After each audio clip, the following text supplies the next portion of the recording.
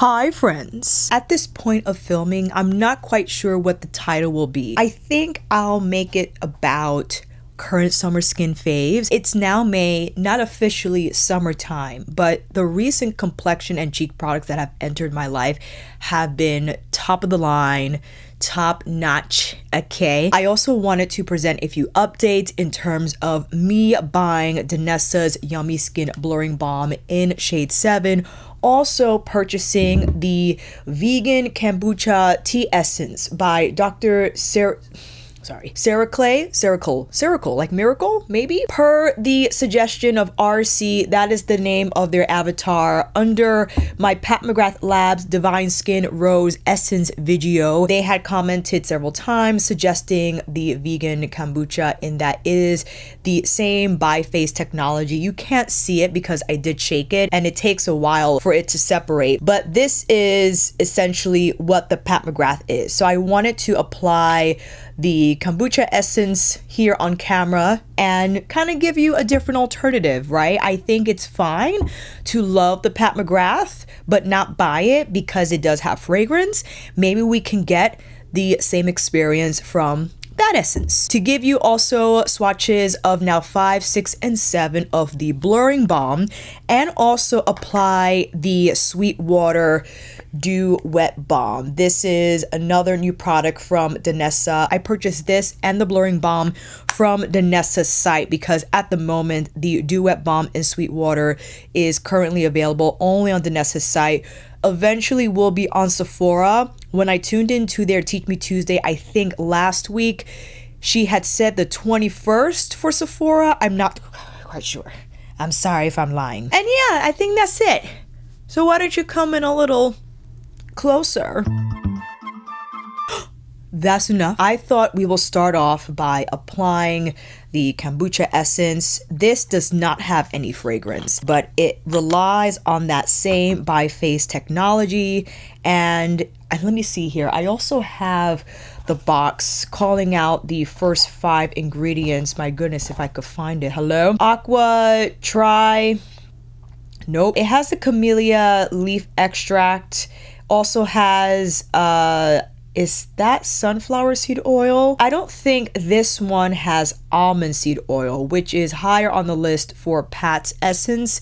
And some of you had said that another reason why you cannot use that essence because you are allergic to almonds. Let's give this a pour. It looks exactly the same. It has like that milky texture no fragrance. Goes on similarly. Now filling out if it has that similar like slick Yes, it does. So when you apply it, it has that same emolliency and silky texture where when it starts to absorb, you can still slide your fingers across the skin without over manipulating the skin, right? A great step before serum and before moisturizer, after toner, after cleansing and washing. Really nice tack. And again, no fragrance. So if you wanted the same type of texture and sensorial experience that you would get from Pat's Divine Skin, you can definitely get it from uh, Dr. Ceuracle if you like. Vegan kombucha tea essence Okay, let's get into the blurring balm. Okay, I have five, six, and seven. Let me quickly read off seven's undertone description because I know five is golden, six is neutral, seven is tan dark skin with neutral undertones, and five is medium tan with golden. So this is five, six tan skin with neutral undertones, and now seven is tan dark skin with neutral undertones. So these are my current three blurring balm shades. These I can go either way. Number six, because originally I had said five was like my dead on match. Six could be a match as well. It gives me a little more warmth. Originally, I had purchased six to be my bronzer, but when looking at the footage and applying it over five, six over five, it didn't have a strong enough bronzing effect that I had wanted. So that's why I bought seven. I should have just purchased seven. Now I have uh, three blurring balms. It's fine. It's fine. You know what? Let me do the jaw to neck. So this is five. This is six. This is seven. So you can see the more neutral undertone from six. However, when I apply six all over my skin, it's not detectable. It's not overwhelmingly neutral, and I think it's because of the light coverage from the product. Whereas just from these three, I think we can agree, hey rhymes, that five is probably my best match. And, you know, I, I use both interchangeably. So if you want to take a look, let me wipe this off. And what I can do is apply five on one side and six on the other. Let's take five on this side and you can see that more golden undertone from five. You know, I wore six all over today and I really couldn't tell a significant difference. However, if you do follow my shade matches and if you are my skin tone more or less, I think five is a great way to go. The great thing about this product is, again, because of its light coverage, it stretches across several skin tones at once. And the skin matching, therefore, a lot more forgiving overall than a medium coverage product uh, shade matching would be. So this is five. I've been using the blurring balm for over a week and it's been phenomenal, mostly because of ease of application. There's nothing to press out, there's nothing to mix, there's it just goes on so effortlessly and as I had mentioned in my original blurring Balm video, if you want to take a look at that, it'll be up in the card or down below in the description box, that you can use this on its own for your skin but better moment or apply it as a primer for more coverage. Let's go in with number six, tapping that on this side of my face. And maybe you can pick up more of a neutral undertone here. But again, you can see that they they they're both wonderful. They they both work. I do think 6 gives me a little more warmth, but it doesn't appear dull. I definitely like the neutral undertone from Danessa's uh, complexion line because it doesn't dull my complexion. It you know, honors, I think, more of an olive undertone that one of you had said that I might have because they run similarly to me. And I'm not exactly neutral, maybe more olive, but I think number six has a little bit of that olivish neutral tone that, when applied, does very well for me. Yeah. So here is number five, more golden, maybe my shade match at my lightest, but the golden undertone doesn't make me look yellow and sad. Whereas number six, giving us a little more warmth, but even with neutral undertone, doesn't dull my complexion and just gives me more of a toasty look, which we love. Now applying the Say Hydra Beam Concealer. This is in number five. One of you had said that number four works great, and I'm I'm contemplating only because I have MG5 from LYS. And let me clarify this uh, statement I made in my Divine Skin video. Yes, I threw away my Pat McGrath concealer because it, I, it was over a year. It was over a year. It had nothing to do with me not liking it anymore. Its shelf life had expired. In fact, I was using it beyond its shelf life, and I wouldn't recommend that you use makeup, old makeup, even if it doesn't smell bad. I think what starts to change is the texture. And the Pat McGrath concealer, amazing, full coverage while still looking natural. It could be a little drier after it's had its year run. And I think that's what was happening to me. And I wanted to switch it up. I wanted to switch concealers, and that's when I bought the LYS, and now I have the Saie, which looks very golden, but when applied, especially with either five or six from the blurring balm, works out just fine. Let's take a look at seven now as a bronzer color. And I think number seven, definitely the way to go if you're my skin tone and you wanted a little bit of warmth. And again, although this is a neutral undertone, it has such a beautiful color to it. And what I appreciate about the blurring balm is the texture just wraps around your skin in a way that looks so seamless and beautiful. And many of you had said that when wearing the blurring skin and you were in ultra hot, humid conditions and it stayed, had your skin looking fresh, ready, okay? Oh, yeah, that's gorgeous. It has a little more color than the Saie, I believe.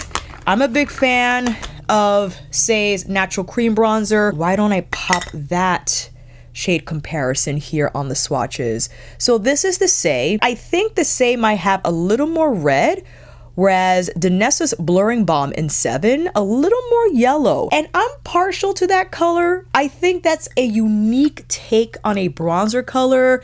Same way I feel about Benefit. When have I mentioned that in a while, except for their brow pencils? Benefit's Hoola I think it was the Hoola Medium that had like a yellowish tint to it. Mented Cosmetics also has a bronzer.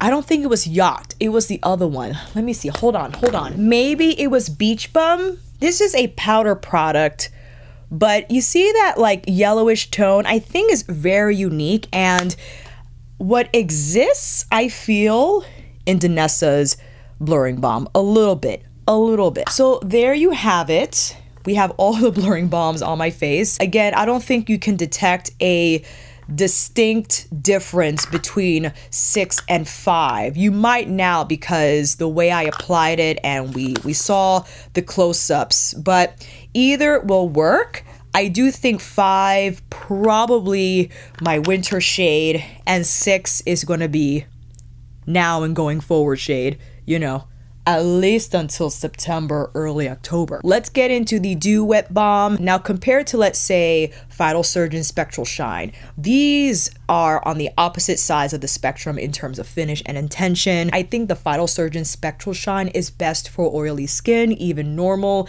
because it's more of a soft focus effect and a dry cream, which if you are oily already, you still want highlight for it to have more of a blurring effect and also to take away excess shine from your cheekbone area, still have that glow definitely. Whereas Danessa's is you can see it's more emollient. It definitely has more tack. Is a beautiful shade, but I don't think it will be for everyone. And to give context, right, when Danessa does her makeup, she has a lot of light on her models and primarily that shiny, like glistening effect, I think is optimal for taking the photograph right then and there. Don't know about its longevity, right? So, if you are in a humid climate, I don't know how comfortable you will feel having something like the Dew Wet Balm on your skin.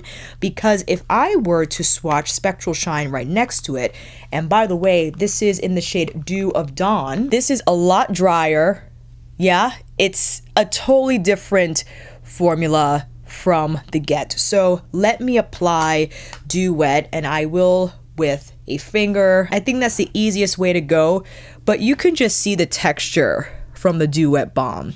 It's just, it has a little bit of like zhuzh. And because it has some color to it, it has like a coral peachy hue, I like to apply this lower on the cheeks and then you can tap any excess up on the cheekbones and look at look at that look at that shine now again this might not be for everyone it has more tack than spectral shine then also Phytosurgence's uh, skin spark blush blush creams that's not the name of it, but it's escaping me. I'm sorry. Also, more than Rare Beauty's liquid blushes, more than Tower 28, I would say. Tower 28, although a little tacky, doesn't have as much of that wet look to it. Let's apply it on the other side.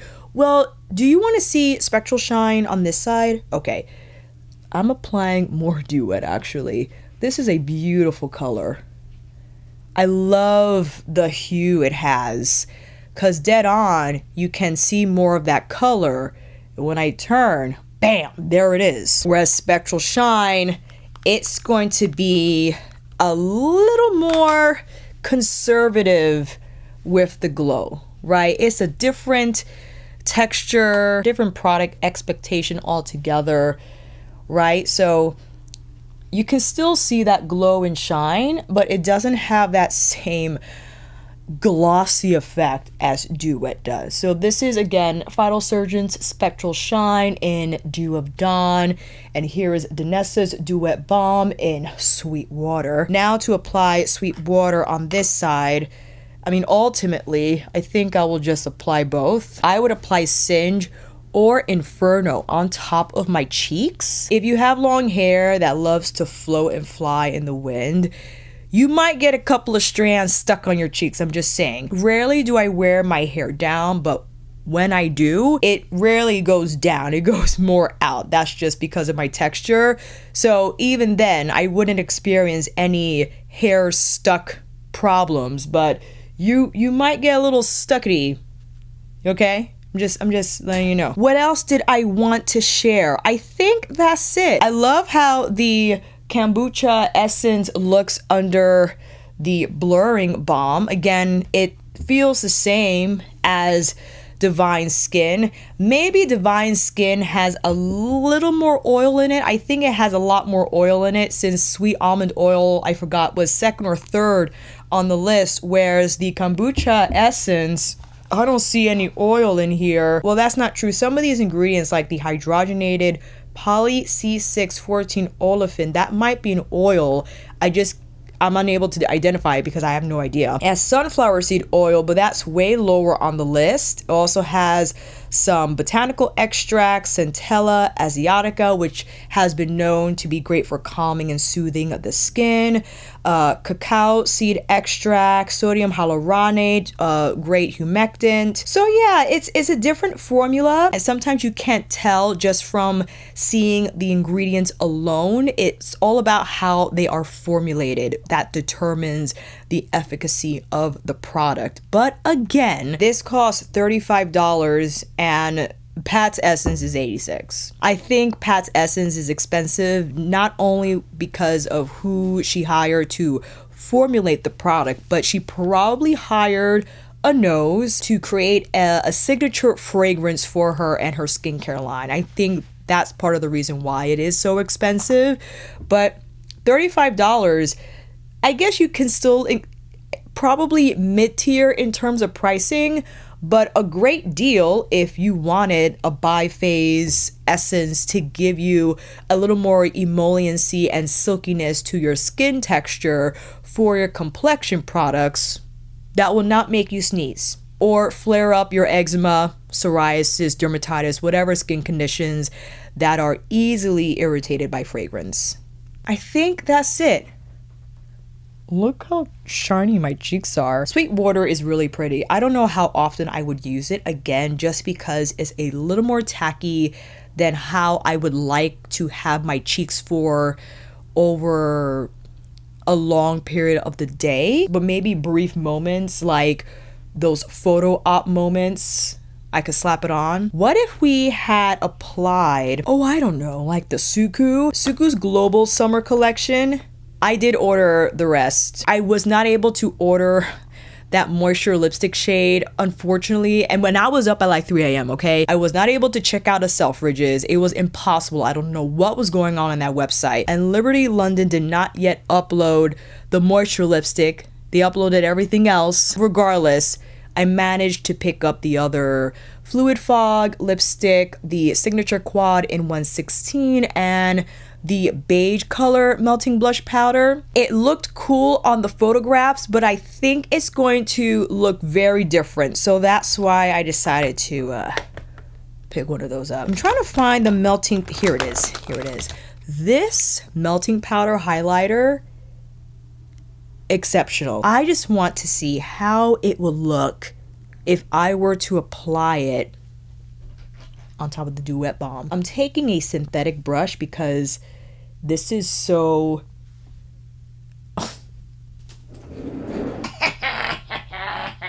this is not fair. This is so pretty. It still has the tack, but the melting highlighter texture took away a little bit. But look at that. Now let's go in with number 101, Hoterio. This just tangerine hot, okay? Some of you had mentioned Taj Mahal from NARS. I unfortunately don't have that blush. I remember Taj Mahal to be very vibrant, however.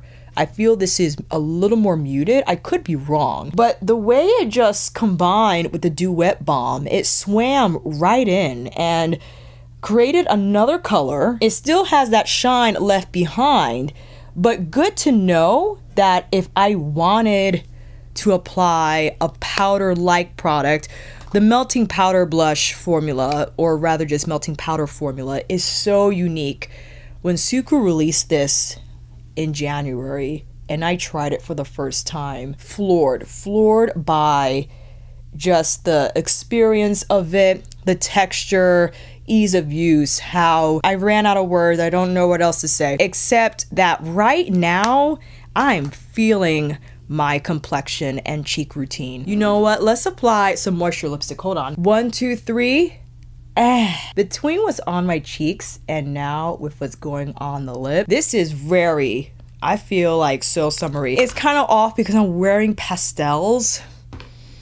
Hold on. Let's put on these sun earrings from Eastly. Okay. I, that's that's fun. And there you have it, taking a look at shade number seven from Danessa's Yummy Skin Blurring Balm, as well as testing out the vegan kombucha tea essence, Biphase essence, as well as playing with the Dew Wet Balm in Sweet Water. Another look at the Suqqu Summer Collection. Again, reiterating the fact that May so far has been fantastic for my complexion and cheek products. I know we're only halfway in, but right now it's I look forward to applying my makeup, especially the blurring balm. I just can't get enough of is accessibility and how easy it is to apply. The color science is fantastic. I can get away with five or six. Either works. Happy that I bought seven because it does add that bronze effect without looking too, too bronzy. And again, the texture is just perfect that, you know, it doesn't look artificial. And a lighter dose than Danessa's Balm Contour, which has a little more punch, more pigment. It has a soft matte finish. This is supposed to be a soft matte as well, but I think this has more of a natural finish to it despite that. It has the Upsolite technology where there are like microspheres in the formula there to pick up excess sweat and oil throughout the day and I do feel comfortable applying this product now deep into summertime just to maintain the integrity of my skin in terms, you know, of oils breaking through, exposed to more humid climate conditions. It's going to remain and it's going to stay right where it is. And although the Dew Wet Balm is very tacky, the fact that I can successfully apply powder products, yes, the melting powder formula, not your typical powder product, but it meshes so well with the Dew Wet Balm. It didn't interfere with its placement. It didn't look uneven, splotchy, or overly textured. It just enhanced the color. it made it more golden coral peach and when I added the uh, tangerine orange shade to this side, that definitely amplified that gradient. So hopefully this video helped. We looked at alternatives, we looked at more shades, more product combinations. Let me know, friend, what you've been trying out, how you have been experimenting, what you've been loving or may not loving, because some of you had said in my last balm video that it didn't work out for you and you shared your alternatives for products that that did. So I think it's important to read both types of feedback because, you know, one product is not going to work for everyone despite how well it does. And I think it helpful just to share our experience, whether positive or negative, so we can just help each other out and know that there are other choices out there that can work out better for us in the end. I will see you down in the comments, fam. And until then, that is a wrap. Thank you all so much for watching. I hope this video helped. And if you like this video, please give it a thumbs up or maybe consider subscribing to my channel. And until then, I will see you on here again with another review tutorial, Skin Summer Extravaganza, monthly favorites or vlog. Take care and I will see you again soon.